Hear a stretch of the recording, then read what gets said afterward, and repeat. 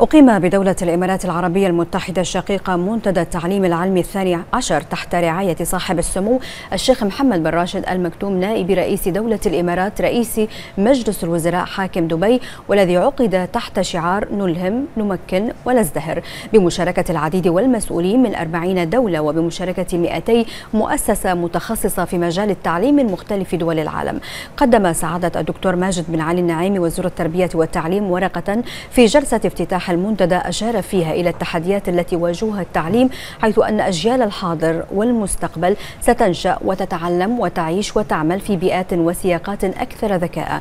واعتمادا على التقنية والمعارف مشيرا إلى أن التحدي الأكبر يتمثل في إعداد أجيال قادرة على الاستفادة من تلك المعارف والتقنيات في تصميم الحلول البديلة المبتكرة.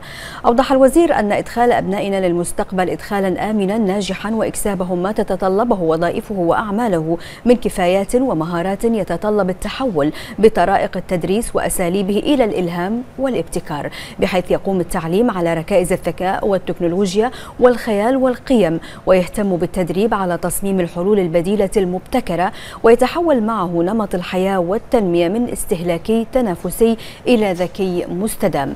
تحدث الوزير عن دعائم التعليم الإلهامي وألقى الضوء على التعليم التمكيني الذي يهدف إلى ترسيخ الانتماء وتحقيق المشاركة الفاعلة وتطوير مستوى الأداء وزيادة الإنتاجية. وفي ختام كلمته دعا الوزير المشاركين في المنتدى إلى مناقشة العديد من القضايا والأمور التي تتعلق بالمعلمين والمتعلمين.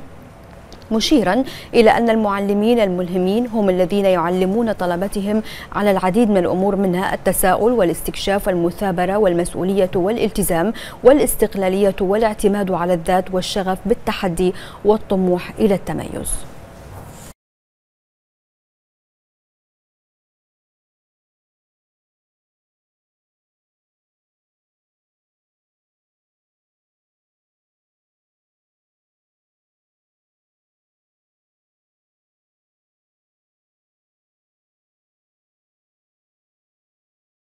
شاركت وزارة التربية والتعليم بهذا الجناح في هذا المنتدى العالمي الذي يعني بالتعليم وتحضره العديد من الدول والمؤسسات التعليمية والخبراء.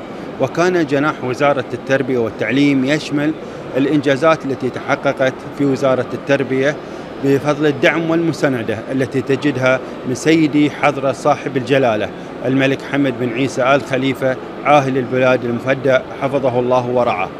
كما اطلع الحضور على التاريخ العريق لمسيرة التعليم في مملكة البحرين خصوصا ونحن إن شاء الله نحتفل هذا العام بمرور 100 عام على التعليم فإن شاء الله سوف تستمر هذه المسيرة الرائدة التي تجمع بين تاريخ عريق وطموح مستمر.